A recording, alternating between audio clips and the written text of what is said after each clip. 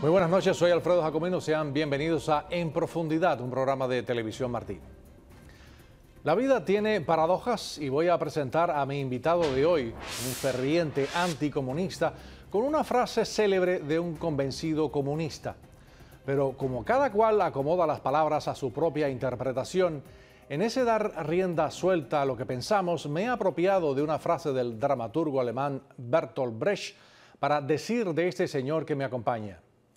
Hay hombres que luchan un día y son buenos. Hay otros que luchan un año y son mejores.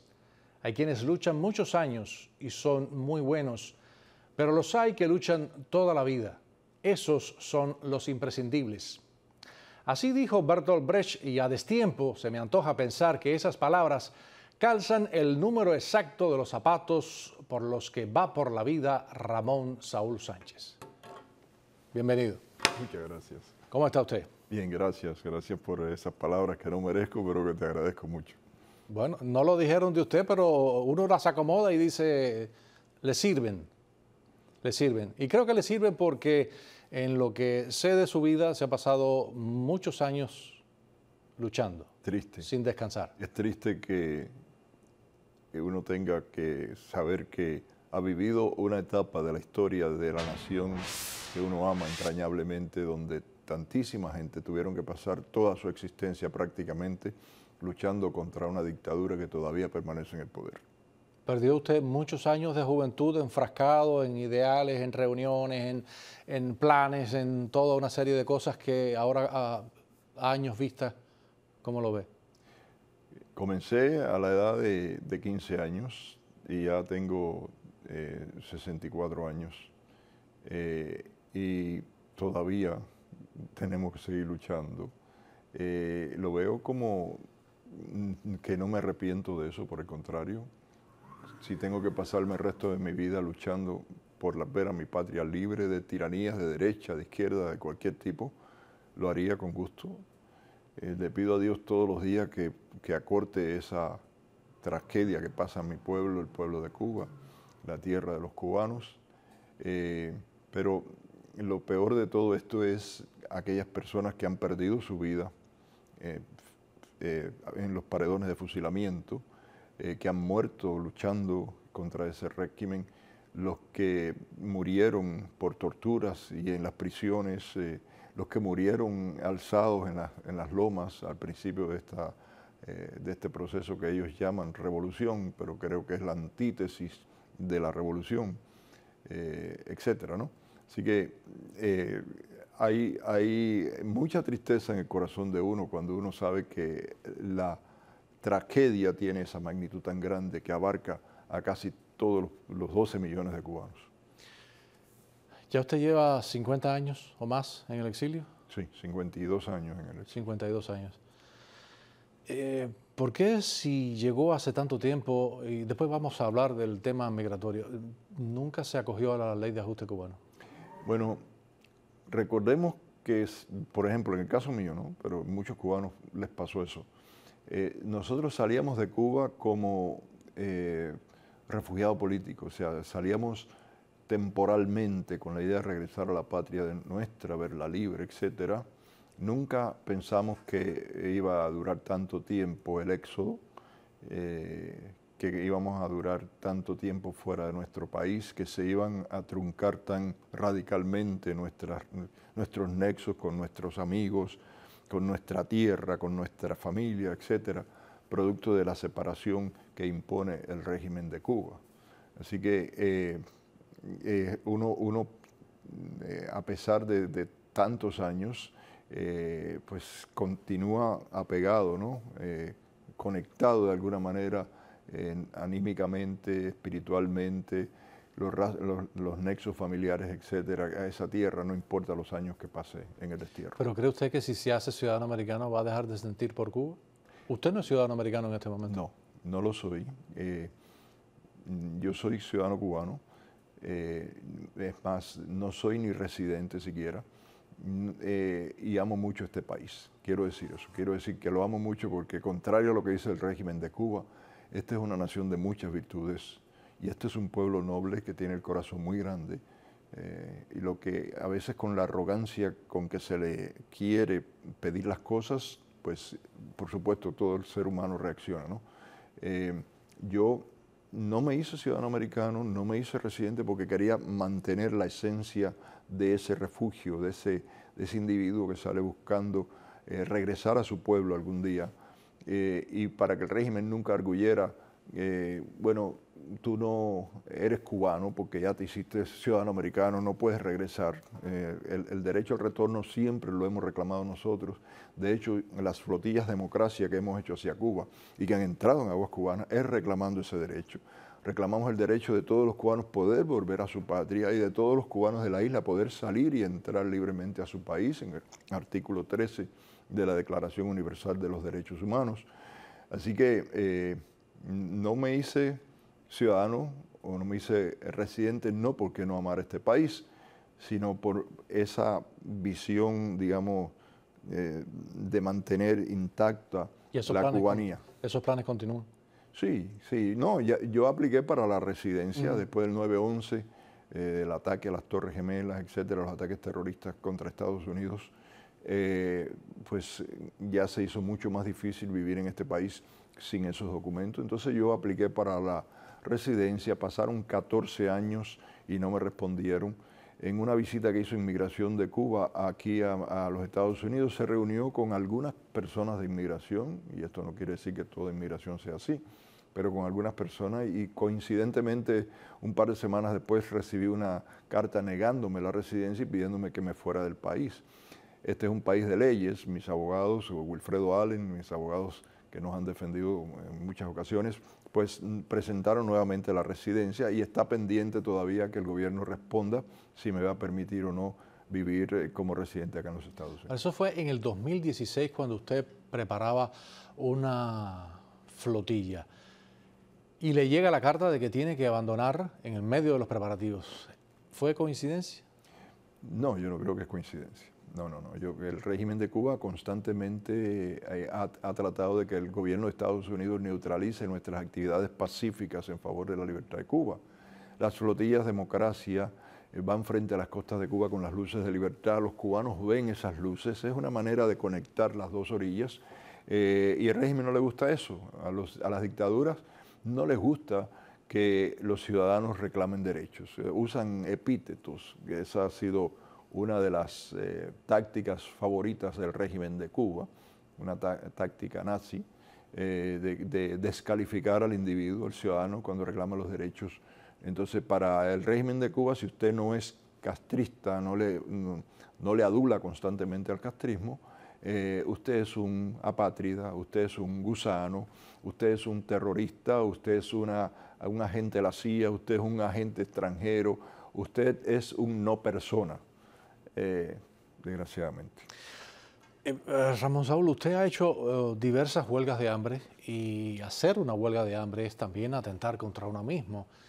Pero existe el peligro de que uno se pone en una cuerda floja en que esa variable puede ser despejada. ¿Por qué lo hace? Mira, prefiero infringirme daño a mí mismo que hacerlo en contra de otras personas. El régimen de Cuba llegó al poder matando gente, poniendo bombas, eh, usando terrorismo. Eh, y nosotros, eh, que provenimos de una cultura que dice que para terminar con una dictadura hay que hacerlo a través de la fuerza de las armas, y yo después de haber ido a, prisión en este país por negarme a proveer información acerca de un supuesto atentado de Fidel Castro cuando vino a Naciones Unidas, planteamos la lucha cívica no violenta en el destierro cubano. Y la lucha cívica no violenta, eh, uno de, los, eh, de los preceptos es, eh, prefiero morir antes que matar. Estoy dispuesto a dar mi vida, pero no estoy dispuesto a quitar una vida. Porque la lucha cívica no violenta es precisamente dar vida, dar derechos, luchar por eh, enaltecer la dignidad humana. ¿Ha tenido usted eh, consecuencias de salud irreversibles producto de esa huelga? Sí, sí, mira, yo trabajo, yo llevo 22 años trabajando en una compañía de construcción. Eh, administro eh, edificios, etcétera, y también hacemos construcción. Entonces sufro mucho de dolores en los huesos y de problemas gástricos producto de la desmineralización y del ataque que las huelgas hacen directamente al organismo. Eh, pero hay una cosa que es mucho más importante que la parte física, que es la parte espiritual. Cada vez que hice una huelga de hambre me aseguré que fuera por una causa justa, me aseguré que estuviera dispuesto a dar mi vida por ella, la hubiera dado si no hubiéramos ganado en, alguna de ellas y en todas, eh, gracias a Dios, se ganó el objetivo que buscábamos eh, y eso es algo que me hace sentir eh, anímicamente y espiritualmente satisfecho. Cuando se mira a sí mismo, ¿se reconoce como un hombre valiente? No, no, tengo mucho miedo. Tengo miedo y me aterra y por eso hago las cosas a no cumplir con mi deber, con mi patria y con mi gente. Me, me digamos, eh, amarga eh, mucho. Cuando estoy solo, cuando pienso y medito, y eso lo hago muy a menudo, ver mi pueblo despedazado, sufriendo, que casi seis décadas tenga que estar constantemente hablando de, un, de una familia, de un apellido macabro, eh, de las obras horribles que han hecho esta gente, eh, de la división familiar, de las necesidades, de los balseros que se mueren en el estrecho de la Florida, de los que han tenido que meterse en los trenes de aterrizaje de los aviones, de la gente que están en las cárceles golpeando mujeres eh, en, las calles, las damas de blanco, haciendo las cosas horribles que le han hecho a, algunos opositores o a muchos opositores, como es el caso de, Tomás Núñez Magdariaga, que le fabricaron un caso y este valiente hombre se tuvo que declarar en huelga de hambre y pasar 62 días en huelga de hambre para que fuera liberado eh, por una patraña que le fabricó el régimen. Eh, todas esas cosas, eh, ese, cúmulo de esas, de esas cosas es la que nos da la fuerza para, para continuar luchando no importa cuánto dure, vamos a continuar luchando. Para mucha gente en Cuba, que obviamente son del gobierno y lo critican, eh, le pueden eh, achacar que usted lo hace a cambio de algo. Y precisamente ha dicho unos minutos que no se ha hecho ciudadano americano porque quiere regresar a Cuba. ¿Todo lo que usted ha hecho por Cuba lo ha hecho a cambio de algo? Sí, sí, lo hago a cambio de algo. Lo hago a cambio de la satisfacción que me daría ver a mi pueblo feliz no lo hago a cambio de lo que hace el régimen, que todo lo lleva a lo material. Yo no vivo de mi lucha, yo vivo del sudor de mi frente. Yo trabajo, eh, tengo mi historial de trabajo muy claro en este país desde que era un niño, desde que tenía 15 años, no, mejor dicho, desde que tenía 13 años. Empecé a trabajar aquí en este país y ahora mismo, antes de venir al, programa, vengo del trabajo eh, y de, de mi bolsillo ayudo a mi lucha. Cuando el democracia sale rumbo a Cuba, no lo hace porque vino un millonario o un gobierno y nos dio fondos y nos dio dinero. Nosotros no aceptamos dinero, fondos de ningún gobierno. Eh, lo, sale y navega por el, sudor de nosotros. Nosotros compramos eh, la, gasolina con nuestro, la de petróleo con nuestro sudor, etcétera, las piezas, lo reparamos, etcétera. Ayudamos a los opositores de nuestro sudor y eso nos da un orgullo muy grande y eso hace que la lucha de nosotros no pueda ser manipulada. Gracias Ramón Saúl. Vamos a hacer una pausa en este programa en profundidad y regresamos enseguida con Ramón Saúl Sánchez.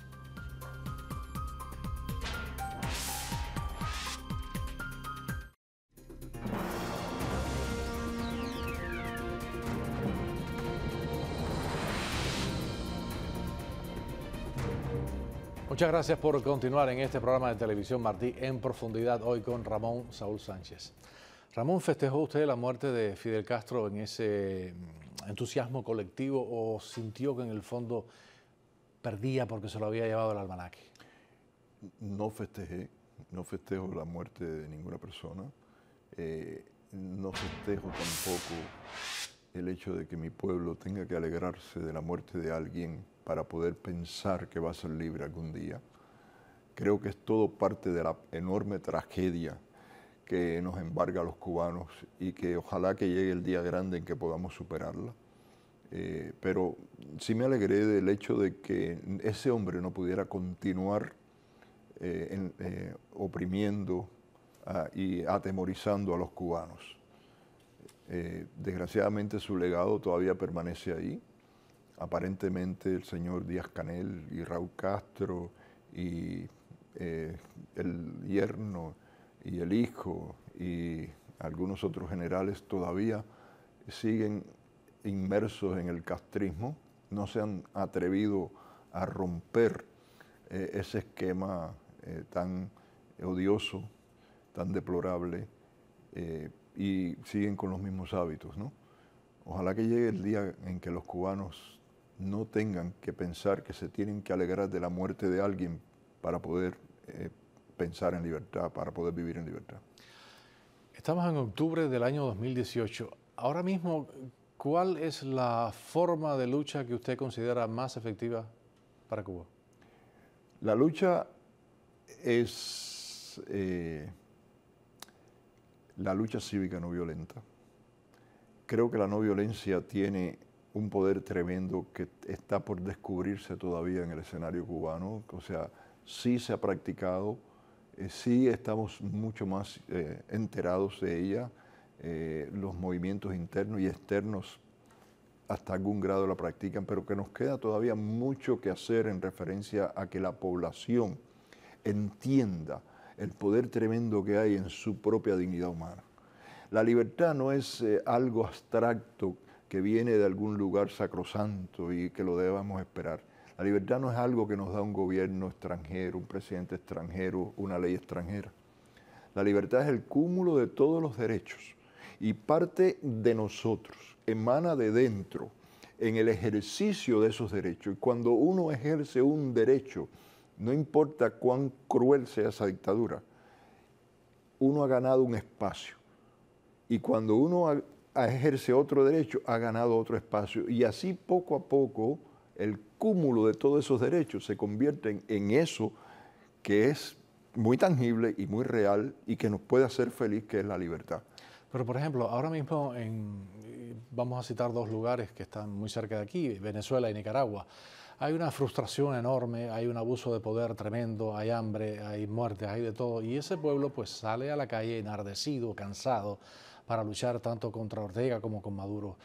¿No aprueba usted ese método de lucha entonces? Claro que sí, claro. El pueblo en la calle, claro que sí. El ejercicio del derecho, eso es un derecho. Los, los dictadores se aterran cuando ven a los pueblos que ejercer su derecho en la calle, a la libre manifestación. Lo que falta es la solidaridad internacional real, más allá de la retórica. Eh, lo que hace falta es que los demás pueblos de América nos demos cuenta que eso que está pasando en Venezuela, lo que ha pasado en Cuba durante seis décadas, lo que pasa en Nicaragua, lo que pasa en Bolivia y ha pasado en otros países de nuestra América, no es bueno para América Latina, no es bueno para los ciudadanos de nuestra América. Y si hay cosas malas en América Latina, y sí las hay, hay pobreza, a veces paupérrima, hay violencia, hay narcotráfico, hay injerencias, todas estas cosas es verdad que existen, pero los ciudadanos de América podemos cambiar eso. Podemos conformar entre todos un movimiento de conciencia continental apegado a esos derechos e ir cambiando nuestra propia realidad. Lo que no cambia realidad es el odio, el rencor, eh, la manipulación, dejarse que los que prometen cosas eh, se apoderen de nuestros derechos, porque al fin ni nos dan derechos, nos los roban, ni nos dan esas cosas que han prometido. El régimen de La Habana lo acusa a usted repetidamente de terrorista. ¿Fue usted violento en alguna vez de su vida en la lucha contra el comunismo? Las dictaduras le gusta usar epítetos para descalificar a los opositores. Eh, yo nunca pedí que dispararan una bomba atómica sobre ningún país, como lo hizo Raúl Castro a la Unión Soviética, que lo hiciera contra los Estados Unidos. Yo nunca hundí un barco lleno de mujeres, hombres y niños, como fue el caso del remolcador el 13 de marzo que lo ordenó el régimen de Cuba. Yo nunca tumbé aviones de, personas que, salvaban vidas, como el caso de Manos a Rescate, ordenado por el régimen de Raúl y Fidel Castro. Yo nunca ametrallé personas en las guaguas vestidos de casquito, pero que eran rebeldes, o sea, castristas, cuando estaba en la Sierra Maestra. Yo nunca he hecho ninguna de esas atrocidades. Yo he luchado por mi patria y los pueblos tienen derecho a, a rebelarse contra las dictaduras. Inclusive el derecho a la rebelión está contenido en la Declaración Universal de los Derechos Humanos pero nosotros hemos adoptado y hemos optado la lucha cívica no violenta no como una estrategia, sino como una filosofía de lucha y de vida, porque pensamos que es un instrumento eh, que puede cambiar los destinos de nuestra nación y nos puede ayudar a dejar atrás esa vieja eh, tradición de, que, eh, de usar cada 30 años la violencia en una revolución para quitar al último libertador que se convirtió en tirano. Es hora de cambiar eso y como único lo cambiamos es con esta metodología. Así que yo lo que invito al régimen de Cuba a que apruebe hacer esto que hacemos nosotros, que pruebe a, actuar con civilismo, que pruebe a ejercer derechos, que reconozca los derechos y verá cuán rápido nos perdemos los miedos los cubanos y reconstruimos a nuestra nación. Que escuche el llamado, por ejemplo, de Cuba Decide, para que los cubanos puedan escoger su constituyente, sus líderes, no que nos impongan una fabricación como esta que están preparando para el día 24 de febrero. Ramón Saúl, al principio, en la primera parte del programa, usted eh, mencionó que había estado preso. ¿Cuántos años estuvo preso en Estados Unidos y cuál fue la causa? Cuatro años y medio estuve preso y, y fue por no hablar, por negarme a hablar ante un gran jurado federal que investigaba un atentado a Fidel Castro cuando vino a Naciones Unidas. Eh, ¿A usted lo acusaron en algún momento de ser parte de la organización que preparaba el atentado? No, yo, yo, yo la acusación, a mí nunca me acusaron de ese hecho, simplemente me pedían qué información tenía yo acerca de eso y yo le dije, averigüen ustedes con sus propios métodos, yo no, yo no soy informante, eso está en contra de, mi creencia. Y, aunque esté en eh, desacuerdo con las técnicas o las tácticas, eh, que han utilizado algunos cubanos en esa lucha, en aquellos momentos, aunque estuvieran en desacuerdo, les dije, no voy a ser yo quien ponga tras la reja a un cubano, mientras que el resto del mundo está tratando de, eh, eh, darnos a nosotros golpes en la, mano cada vez que tratamos de hacer algo contra esa tiranía y apoyando esa tiranía. ¿Cree usted que, fue, que fueron severas las autoridades con usted? Yo pienso que Estados Unidos tiene leyes, y tiene que cumplir las leyes. Y si viene un informante y dice algo de una persona, bueno, pues eh, hace sus investigaciones. Creo que sí fueron injustos con muchos de nosotros en aquellos momentos, pero yo dejé eso atrás. yo, yo miro hacia el futuro. Y yo quisiera que mi patria dejara atrás esa época de rencores y rencillas eh, contra otras naciones yo quisiera ver la armonía, la solidaridad eh, de nuestros pueblos, trabajar en conjunto para resolver los problemas que nos aquejan realmente y no seguir poniéndonos los unos contra los otros, que lo único que logramos con eso es empobrecernos más, hundirnos más y desgraciadamente ser más infelices. ¿Ha cambiado usted eh, versiones de la lucha cívica no violenta? ¿O ¿Es un solo camino? ¿Acepta usted consejos de otras organizaciones? ¿Cómo maneja su movimiento democrático? Yo creo que lo lindo que tiene la lucha cívica no violenta es que precisamente es muy creativa y, tienes que abrir tus, eh, sentidos a, otras, a otras visiones, a otras contribuciones que se hacen eh, nosotros hemos introducido algunos mecanismos a la lucha cívica no violenta, las flotillas de democracia, la cadena humana de solidaridad.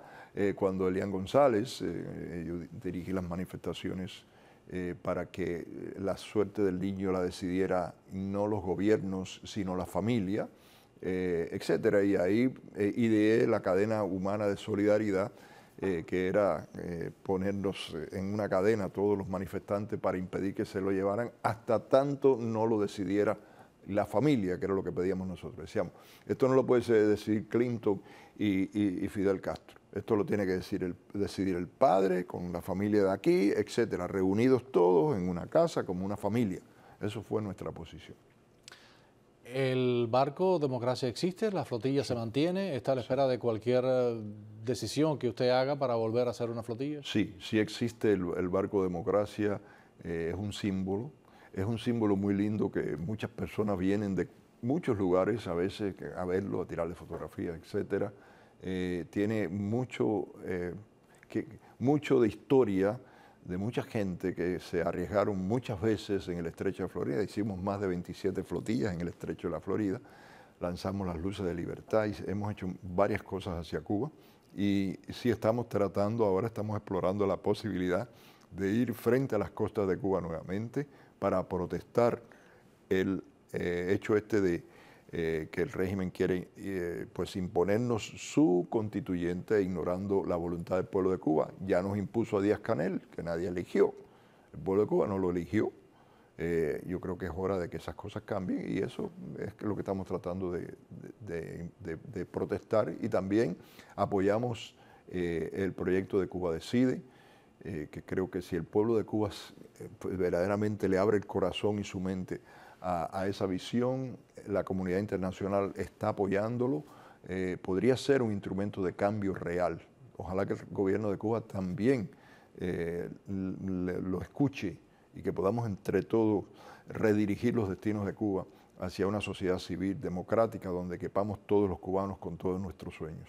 Eh, ¿Qué contactos mantiene el, movimiento Democracia con organizaciones fundamentalmente? ¿Con cuál tiene relaciones más estrechas dentro de la isla? Con todas las organizaciones. Eh, el movimiento Democracia tiene delegaciones dentro de Cuba, lo dirige allá eh, José Díaz Silva, Mario Alberto González Leiva, Lourdes Esquivel, también dama de blanco ahí eh, mantenemos contacto con la Unión Patriótica de Cuba muy estrechamente, eh, con las Damas de Blanco, con el Partido por la Democracia Pedro Luis Boitel, o sea, eh, con todos los movimientos dentro de Cuba tenemos muy estrechas relaciones.